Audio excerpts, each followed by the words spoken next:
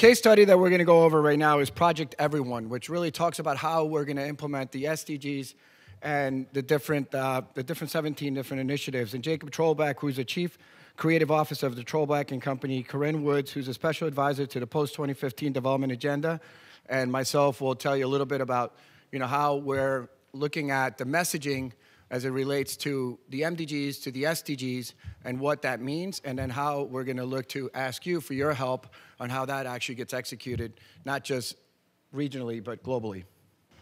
Thank you very much, Sergio. I'm Corinne Woods, and um, it's a pleasure to be here with Sergio and the PVBLIC Foundation. It's a fantastic opportunity to be with many people who I already know and have met before, many people we as the UN have been working with, so we're in a point in progress. As Mitchell was saying, we've worked with many of you in the last three years and we hope to continue to work with you. We're all of us hybrids. We start with one agency, we move across to another organisation, and I actually am a UN staff member very, for the first time, seconded to the UN Foundation to help do exactly the idea that we believe, which is to start from the UN and genuinely bridge out to work with people like you. So I'm going to do something which I think should be symbolic, which is I'm going to go from sitting here behind the dais, formally sitting here, I'm going to walk and stand there to show you that we are moving to partner with you and come to the ground.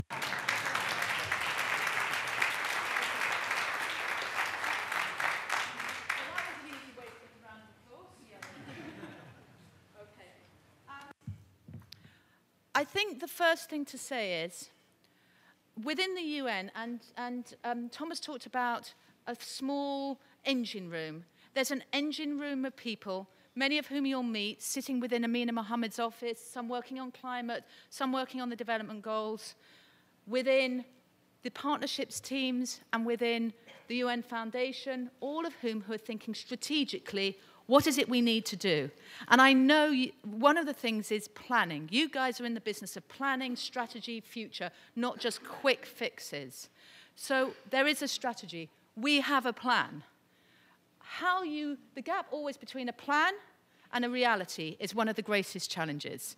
Everybody can write great plans. How do you deliver great plans? So I want to just point to the plan, talk a little bit about some of the pieces that are already in place, lay out the largest opportunity we have in terms of really making the plan a reality, and then turn to my great colleague Jakob Trollback on what will be the foundation for the plan. I keep on trying to think of architecture and building analogies. My husband's an architect, and I've decided I've got confused, so I'll try and do this anyway. Let's just say, and Thomas said it, but let's remind you, we're sitting here with a plan that says, right now we have a moment leading into the year, which is a drum roll. It's the moment where we've really got to start to take all the voice we have, all the interest we have, and drum roll into a couple of key moments. Oh, someone's being very efficient. And we have, thank you, wow. First, we know we've got three moments, and I'll just remind you, because those are three key moments. Financing for development, which is in July. We all know Where's the money coming from to make this happen? Where's the fuel coming from? We call it means of implementation, but basically, all our vision that Nicole spoke so eloquently about, you've got to have that fuel to do that. So in July, there is a moment where that conversation is start, going to start being synthesized. In September, there is a key moment in time where the gavel comes down and comes down hard. How do we make that moment an extraordinary moment? And then we come to what my colleague Dan in the SG's office says continually that's the moment where the rubber hits the road. Are we going to get an agreement on the climate side that really will actually make this work? So this year is key in terms of a drum roll. Oh, now I'm in charge of this. I can do that. Do I just press that one? The right one, I think. The right one. Okay. No. So, let's just talk about the summit. The summit will be 72 hours. It's our, oh, the summit will be 72 hours. It will be a key moment in time. It's an extraordinary thing. If any of you, how many people have been to the UN before? Quite a lot of you and someone you knew. Every time I come to these sorts of rooms, I think this is, this is like nowhere on earth. And when you go into the General Assembly, it's even more like nowhere on earth in terms of an extraordinary place. Somehow we've got to communicate the extraordinary moment where 193 member states come in and agree, agree a plan for the planet. That's an amazing moment in time. If we, as a group of communicators, can't tell that story, we need to go back to selling toothbrushes and bins. I mean, it really is something amazing, and we need to find a way to do it. So we're going to call on your help to make that happen. But then what happens, and this is what Mitchell was talking about the challenge make the global goals famous and owned by people everywhere. Seven billion people. That's what we want to be able to do. It's a large ambition, but it's an ambition we should stand up to because we are, it is we the peoples. We have to find a way to do that. So we have some things in place. The first fundamental thing is we as the UN being relaxed and letting go and saying, there are people like you here who know how to communicate. You know how to get to people. You have platforms to get to people. You know how to do it. So if you know how to do it, we should welcome and encourage you to do that because the goals are the world's goals. So we should do that. And we should welcome and encourage your brands to do that. We should welcome and encourage ways in which we do that and say we're a big party and we all need to come to that. So that's the first thing. And then we need to say, how do you create ownership? So it's not just this big monumental year, but what happens in 2017? Is there real ownership? What happens in 2018 and 2030? So it is a plan for the planet owned by everyone. Now, we already have in place a number of things, a number of partnerships that sit there. We'll turn in a minute to Jakob, who has been working with Richard Curtis, the filmmaker and activist. Does everybody know who Richard Curtis is? Does anybody not know who Richard Curtis is? Okay, Richard Curtis. Does everybody know Four Weddings and a Funeral? Okay, enough said.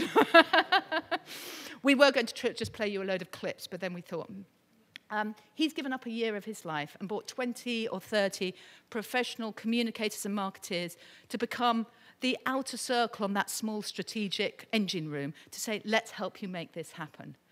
But always you, we say, that's great, but it's necessary but not sufficient. We need more people, which is why we're helping. You're going to come So we already have this idea of partnerships of people coming together. So Jakob and Richard, I think, met on a plane or met somewhere, and Jakob has, is going to talk to you about this foundation of the visual language. But we have people in the room who are already working on things. We have a fantastic piece of work which is about comic books that you'll see in here, and a whole team of people who are working on how do you use comics and comic characters to communicate. We also have Jimmy Wales has joined forces with does everybody know who Jimmy Wales is? Yeah, okay. Sometimes UN people, we don't know who Jimmy Wales is. To, Jimmy Wales is Mr. Wikipedia. So to translate and get the goals out in that way. We also have, I know many of you, a communication corps who have come together, PR and advertising agencies, and said, what are the things you need as the UN? Do you need messaging? Do you need media placement? Helping us do that. And you'll hear at lunchtime Gates Foundation, and the Global Poverty Project talking about their global citizen.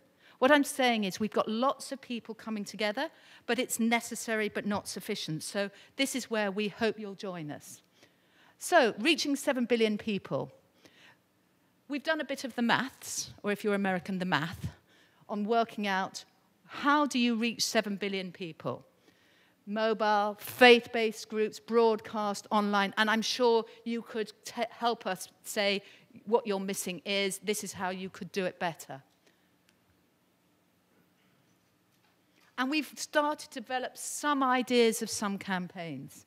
The world's largest prayer. The faith based groups are getting together to think about could you have a moment of faith recognition of the new goals?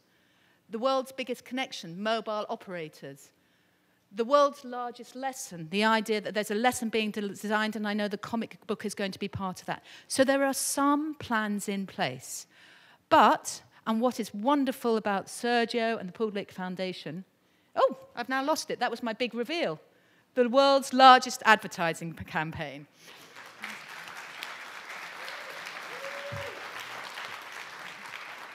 But before, before we give him a round of applause, we should probably give you a round of applause because I'm going to say this, he can't do it without you.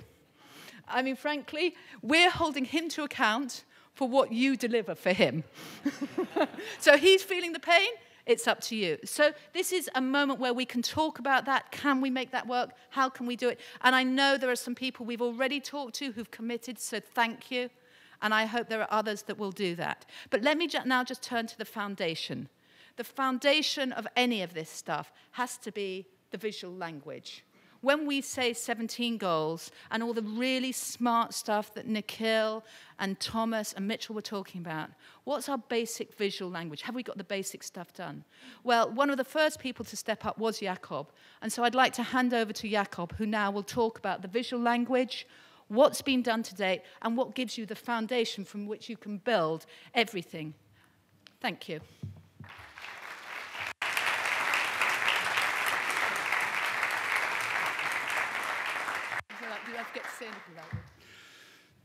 So I'll stand up too.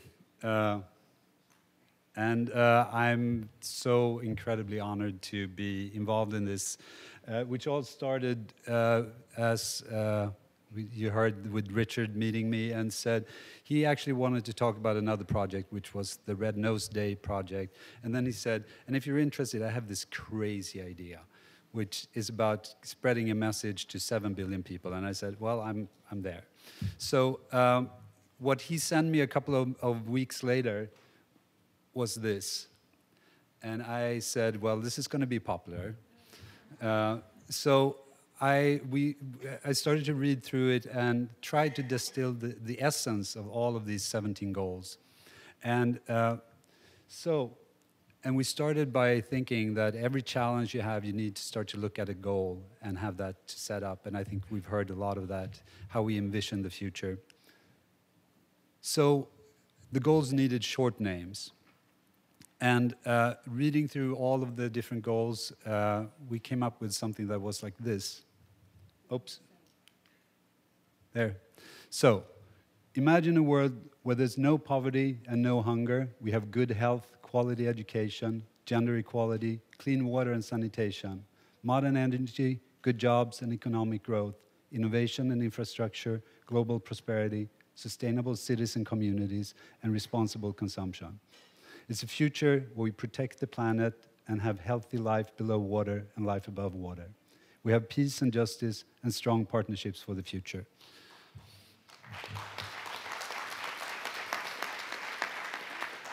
So those are the goals. And uh, this is still a little bit of work in progress. Uh, we have one or two goals, uh, especially goal number 10, that is a placeholder. So uh, don't tweet that one yet. Uh, it's, a, it's, it's a tricky one. It's, it's resisting to getting uh, condensed into a couple of words.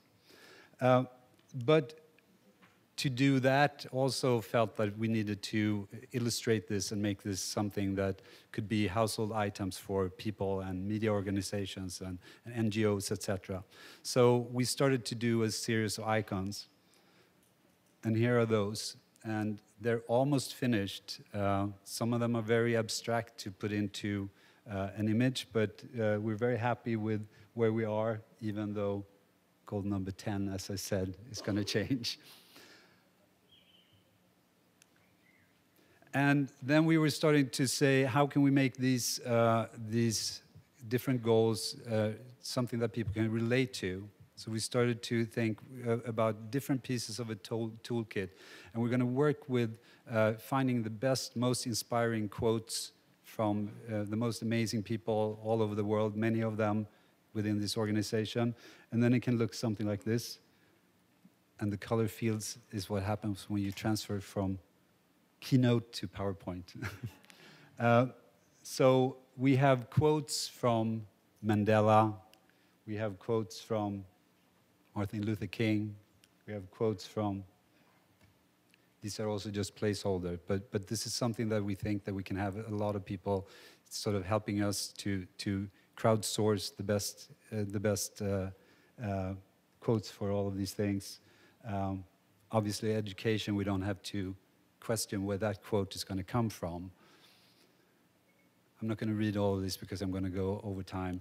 Um, and also people who have popularized different things. So we're very, we're very excited of, of starting to see sort of how all of these pieces fit together. And uh, we have, even though uh, it's going to be a, a, large part of this is to, to figure out the outcome and the indicators that we can illustrate. Uh, but we've started to think about how we can apply a visual language that's going to be for, uh, for data visualizations and, and such. So uh, that's just a couple of those pieces. Um, we've also been starting to think about advertising, and this is obviously uh, what we've done from, from the point of view of a, of a largely graphic design company. Uh, but um, we just think it would be cool to see this out and about, and also then with, with quotes and, and icons. And uh, for the launch, of course, we want to project on the, on the UN building. Uh, we also uh, we also have been starting to work on something that's uh, a manifesto for all of the 17 goals, and um, this is also very much a work in progress, uh, but uh, it's here, we live in times of great uncertainty. Conflict, injustice, and poverty surrounds us. Even the very planet we inhabit seems to threaten our survival. Our challenges are serious, but our history is full of inspiring moments. We have set our differences aside and worked for something bigger than each of us. This is one of those moments. If we take action, we can build a better world for everybody and leave a much brighter future for our children. With your help, we can be the first generation to defeat extreme poverty, the most determined generation to tackle injustices, and the last generation to be threatened by climate change. Together we can build a world that we will all be proud to live in. Join us. This is the time, and this is the plan.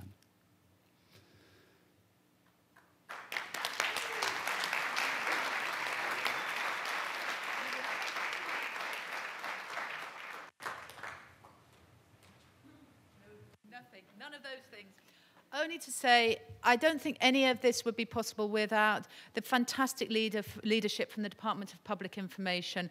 And you'll be hearing from Cristina Gallach uh, this afternoon, who is our Undersecretary General. And there are people from the Department of Public Information throughout this meeting.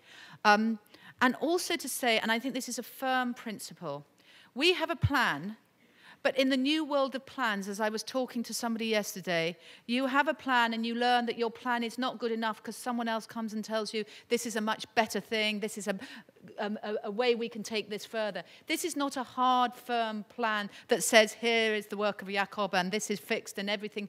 We are so open to many different creative ideas, many different ways of doing this.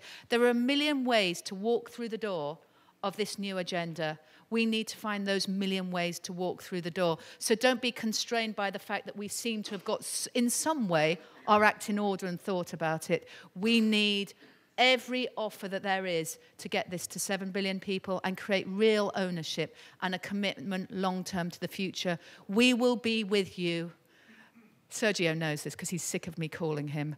We will be with you and we will accompany you through this so that it's a genuine partnership from now to 2030 when we're all old people with Zimmer frames. Thank you. I'm not sick of her calling me. She's got a British accent, so it's actually it's, it's great to hear her call me. Um, you know, so listen, uh, really important here. I think it's one of the important factors that we started with this is because it's called Project Everyone, right? Everyone here has the ability to impact change. Everyone here has done campaigns, has done initiatives, has created brands that has impacted people, has impacted not just millions of people, but multicultural, multi-geographic, multi-dimensional, multi-asset based, whatever platforms from social media to out of home to magazines to television shows. And we all have the ability. And I think what Corinne was saying was that we want all of you. This is why, again, we led with Jakob because of what how they started this initiative and they came to the United Nations and they said, hey, look, we could help you sort of visualize this and get people really excited to understand what it is that these goals mean. Because what are 17 goals? You're all sitting here saying, well, I didn't do my homework. You know, what does each goal mean? And, and so what they're trying to do is actually create the visual elements, the logos that then will allow us to create further executions and be able to translate that further to civic society.